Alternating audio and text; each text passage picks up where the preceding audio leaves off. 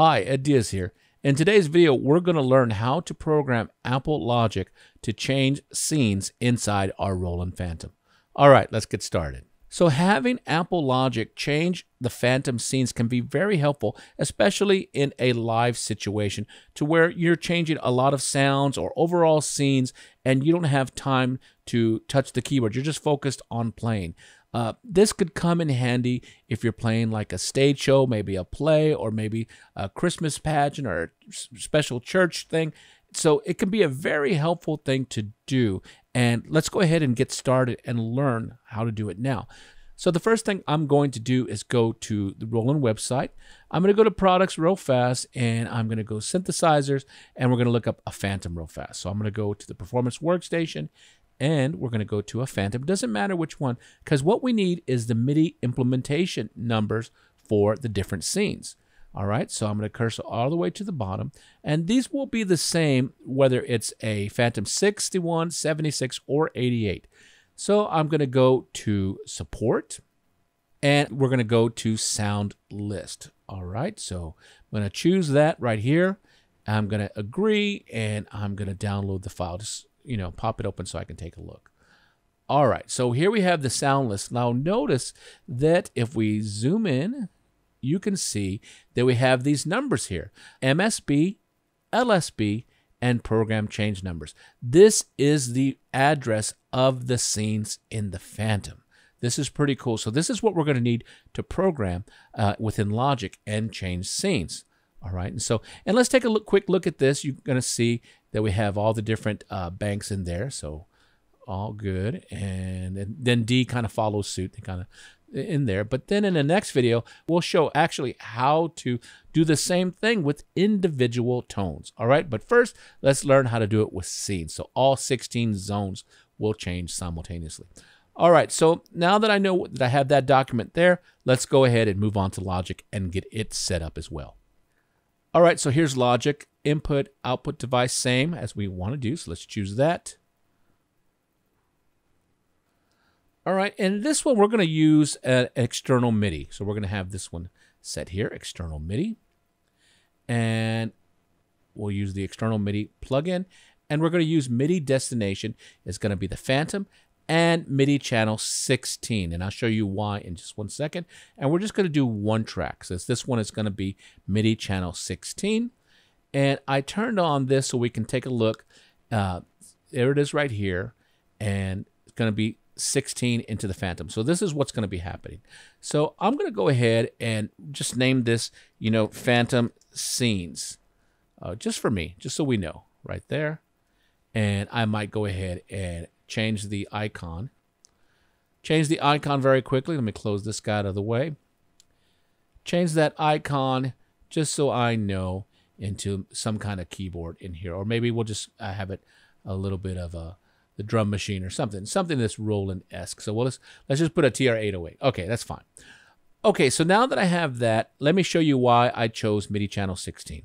If we go into menu here, we're going to go into system and we're going to use the system settings and we're going to go down into MIDI. Now inside the MIDI, we have scene control channel and it's set to MIDI channel 16. So this is the channel that the Fantom will correspond to when we're changing scenes externally.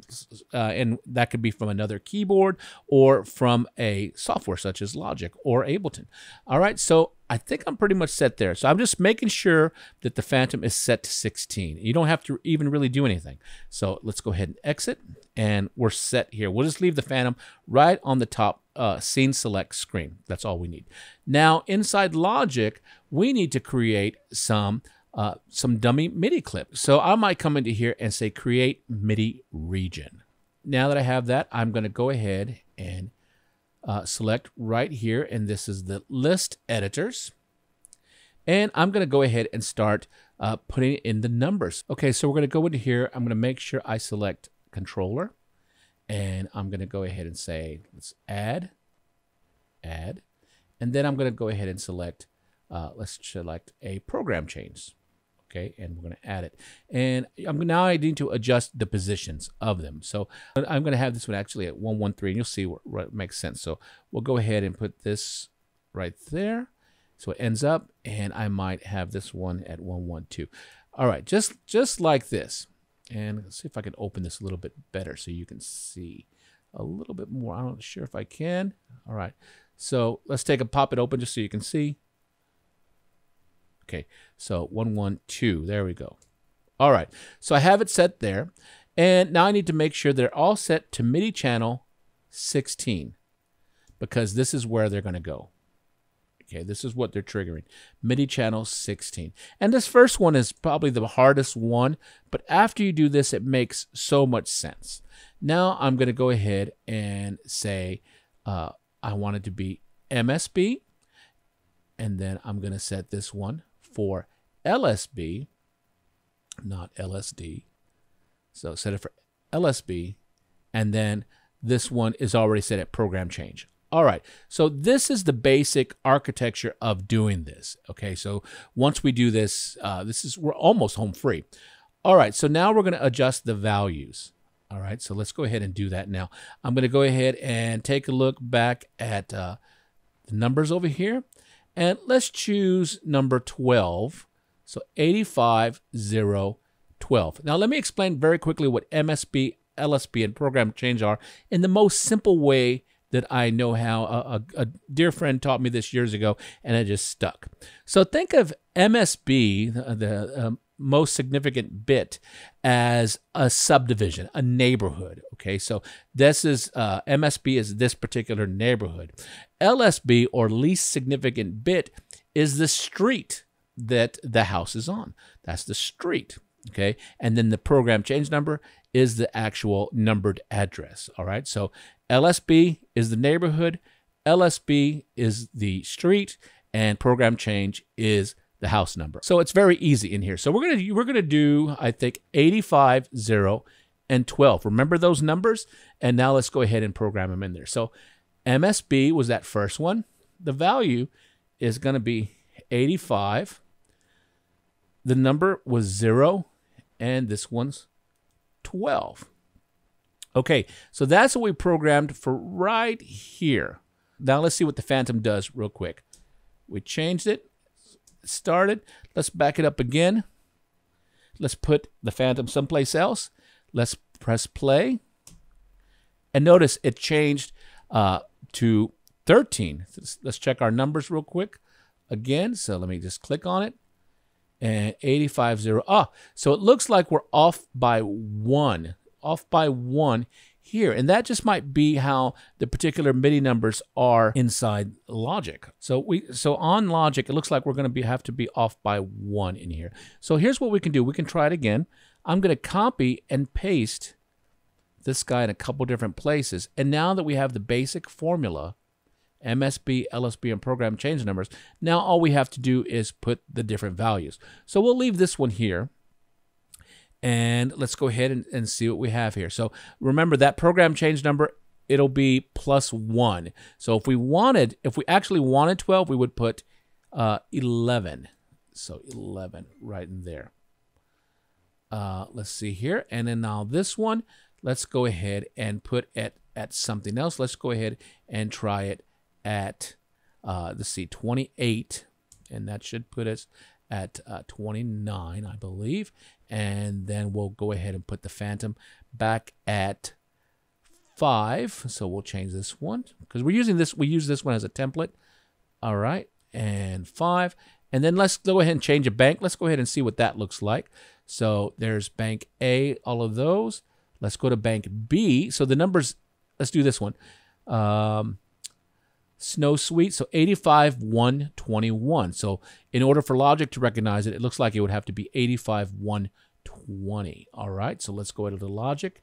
Uh, 85, 1, because that would be the B section. So we'll double click so we can go in there and edit. And that would be 20. And let's go and do another one.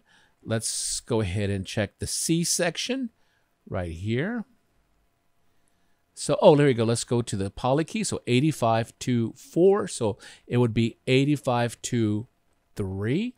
And, you know, I could be wrong. We might be able to adjust our MIDI numbers in Logic, but I might have to do that uh, later. So let's see.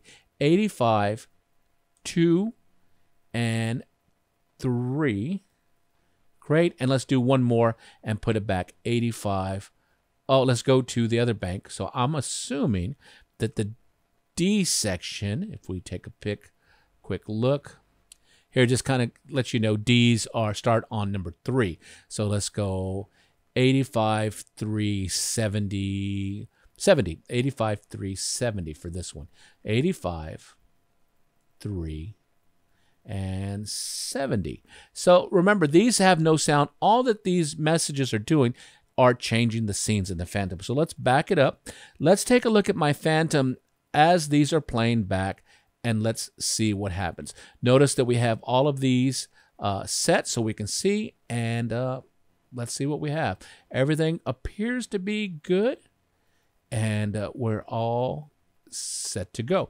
All right, let's let's give it a shot, see what happens. Watch the Fantom, watch my logic, and let's go. There we go. Boom. There we go. Yeah, there we go. It's looking good. B section now should go to the C section. Boom, right there where we wanted. And I think the D section here, which would be 71. Awesome. And then if we wanted to, if we wanted to go back to a scene, remember we could always copy and paste. It could be a very fun way to just kind of move around uh, different scenes. So remember, once you have these how you want, you could take these MIDI clips and you can adjust them by color and even name them. So if we wanted to, I could go ahead and have different colors uh, for the different clips so I know what bank is coming up or whatever's going on. It could be a whole lot of fun uh, to go in here. And once again, this could be something that you could use if you're playing along with tracks or backing tracks and you want the Fantom to change with you in a live situation. This is how you would do it. So once again, all I did, and I'll, I'll do another one in just one second, is I just went ahead and just having it all changed. So let's do it one more time. I'll do a brand new one here. I'm going to right click, create MIDI region. Okay. And I opened up this list panel right here. And I went ahead and we'll do it in order. I want to go ahead and do a controller. So let's add two of them. And then I want to do a program change. All right. And let's add one. So I'm going to go ahead and I'll leave this one at one, you know, 19, 1, 1, 1, 1, 1. So I hit that first click. And this one I'll go ahead and have, oh, that's the program. Got to be careful. Take your time. So that's the program change. I'm going to change that number to three because I need these to go in sequential order. Okay, they got to go in a uh, particular order. I'll leave that first one alone at one. Double click, and I'll put this one at two. Great. So they're almost there. And then now we'll go ahead and set this one, uh, the MIDI channels. And remember the Fantom responds to MIDI channel 16. So 16 is how we change the scenes. Great, so we're almost there. And now we'll go ahead and do MSB, which is the neighborhood that the scene lives in. LSB, which is right there, 32. That is the street. And then we have the program change number, which is uh, the actual house number of that sound. So now let's go ahead and pick one. Let's go back and take a look. And let's just choose here. Let's choose this one right here. Uh, let's use Cat Dance in honor of my gatos. So it's 85068. So we got to back up one. So 85067. That's just how logic is. And I might be able to adjust that. Let me, I'll take a look in a second and see if I can find that for you. So 85068. So in the value, 85, 0, and 68. All right, I think we are good to go. So that is that one. And let's let's go ahead and give it a shot here and I'll put this one here and then we can go ahead and change the color of it right click right on it and then we can go ahead and name and color. So if you if you wanted to, you could actually name the scenes if you wanted to. I'll go ahead and show hide colors, and we'll do this uh, like a Roland orange. And let's give it one more look. So watch my Fantom as this plays down, and here we go. I'm just I'll just even go random. I'll just go random into any section, and let's press play and see what happens. So there we go, right into the banks, exactly where we told them to go. And this is so cool. This is such a, a cool thing that we can do and just be switching sounds automatically for you as you're playing tracks. Okay, so once again, this can be a great, great feature to take advantage of, uh, especially as the holidays come, or if you're doing any kind of Broadway musical, musical type of shows, or church functions, you know, like a church pageant, or uh, whatever, where you have to be very precise in what's going on with the backing tracks, and you want to use the DAW to change those scenes for you. This is exactly how you would do it. MSB, LSB, and program change number it is a game changer and it's it's it's amazing. So in this example, we just use Logic to do the scenes, but in the next example, we can actually have it change specific patches inside your Fantom. All right, I hope this helps you out. You guys take care and we'll talk to you later.